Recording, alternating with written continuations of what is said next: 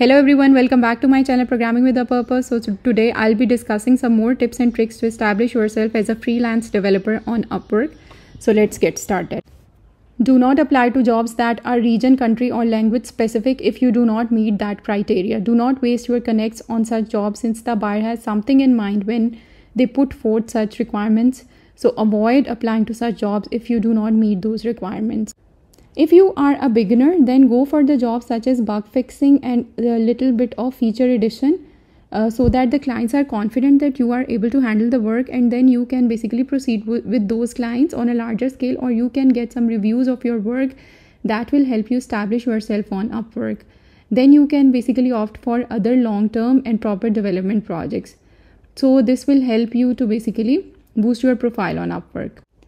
It is great if you apply on the jobs that are not older than 24 hours and less than 50 proposals. If you are a beginner with no professional experience, then do not apply for the jobs greater than 20 proposals. You are most probably going to lose against other experienced freelancers. Only apply on jobs that are older than 24 hours and 50 have greater than 50 proposals.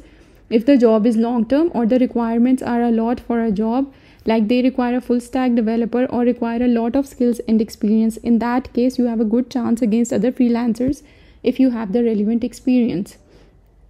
Because the client then would want to get the best person to work with since they have to work on a bigger project or for a long term and they will basically try to look into all the proposals before finalizing the talent until they find a suitable one Apart from programming tools and technologies, learn about some helper tools that will help you to get started with different tasks, such as some clients require that you should have an understanding of tools such as Jira for bug tracking and task tracking tools and task lo- logging tools and websites such as Slack and Trello.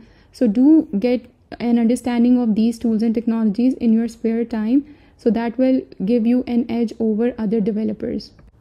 And also mention it in your portfolio. Also, do not stop looking for jobs once you are hired for one job if you can handle more than one job. If you have the time and skills, do not hesitate to apply for more jobs while having one, but do cap it to a maximum count which is suitable according to your own skills and availability. Because quality of work can get seriously affected if you take more work there than you can handle. I usually cap it to three projects at a time.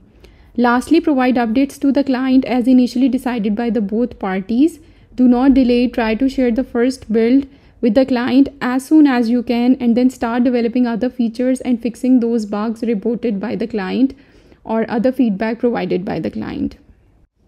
So this is all for this tutorial to guide you about the tips that will help you flourish your freelancing career on Upwork specifically and on other platforms generally.